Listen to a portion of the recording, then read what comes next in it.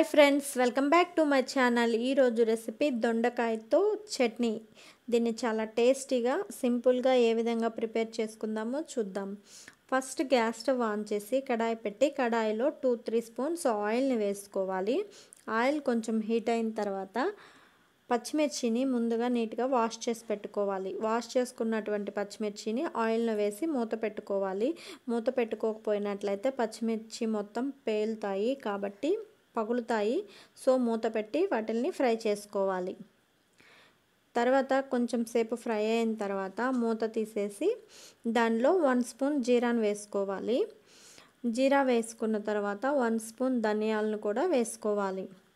ధనియాలను వేసుకొని మొత్తం ఒకసారి మిక్స్ చేసుకోవాలి.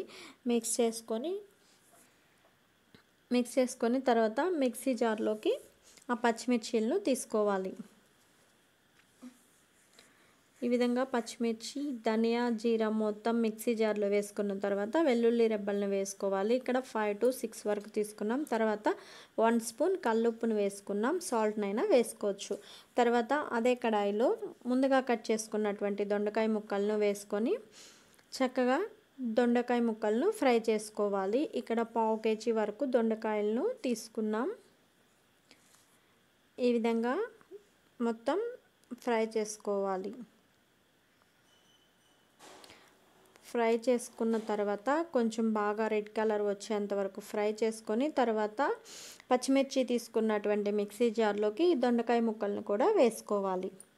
వేసుకొని అది కొంచెం చల్లారిన తర్వాత మూత పెట్టి చక్కగా మిక్సీ పట్టుకోవాలి. తర్వాత టమాటాలను తీసుకొని టమాటాలను చిన్న చిన్న పీసెస్గా కట్ చేసి పెట్టుకోవాలి. తర్వాత కడాయిలో ఆయిల్ని వేసుకొని కట్ చేసుకున్నటువంటి టమాటా ముక్కలను చక్కగా ఫ్రై చేసుకోవాలి. కొంచెం టమాటాలు మగ్గిన తర్వాత దానిలో నిమ్మకాయ అంత సైజు చింతపండుని వేసుకోవాలి. చింతపండుని వేసుకొని మూత పెట్టి చక్కగా అది మొత్తం కుక్ అయ్యేంత వరకు మూత పెట్టి కుక్ చేసుకోవాలి. చూడండి ఈ విధంగా మనకి టమాటాలు మగ్గనిచ్చుకోవాలి. ఇలా కుక్ చేసుకున్న తర్వాత గ్యాస్ స్టవ్ని బంద్ చేసుకోవాలి. ముందుగా మిక్సీ పట్టుకున్నటువంటి పచ్చల్లో ఈ టమాటాలను కూడా వేసుకోవాలి. వేసుకొని మొత్తం టమాటాలను ఈ దొండకాయ మిశ్రమంలో వేసుకొని మరోసారి మిక్సీ పట్టుకోవాలి.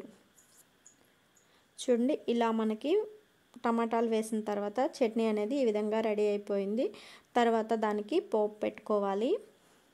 గ్యాస్ స్టవ్ ఆన్ చేసి కడాయి పెట్టి కడాయిలో టూ స్పూన్స్ ఆయిల్ని వేసుకొని ఆయిల్ వేసుకున్న తర్వాత దానిలో జీరా అదేవిధంగా ఆవాలను కూడా వేసుకోవాలి. అవి రెండు చక్కగా కుక్ అయిన తర్వాత దానిలో కరివేపాకును వేసుకోవాలి. కరివేపాకును వేసుకొని గ్యాస్ స్టవ్ బంద్ చేసి ముందుగా ప్రిపేర్ చేసుకున్నటువంటి దొండకాయ చట్నీలో ఈ తాలింపుని వేసుకోవాలి. వేసుకున్నట్లయితే చాలా సింపుల్గా మనకి దొండకాయ పచ్చడి అనేది రెడీ అయిపోయింది. చాలా అంటే చాలా టేస్టీగా ఉంటుంది. టిఫిన్స్లోకి బాగుంటుంది. అలాగే రైస్లో కూడా చాలా బాగుంటుంది. ఒక ఫోర్ ఫైవ్ డేస్ వరకు నిలవ ఉంటుంది. చాలా సింపుల్గా చాలా టేస్టీగా మనం ఇంట్లోనే దొండకాయ చట్నీని ప్రిపేర్ చేసుకోవచ్చు. ఈ వీడియో కనుక మీకు నచ్చినట్లయితే అయితే లైక్ చేయండి షేర్ చేయండి కామెంట్ చేయండి. మన ఛానల్ను సబ్స్క్రైబ్ చేయండి. Thank you for watching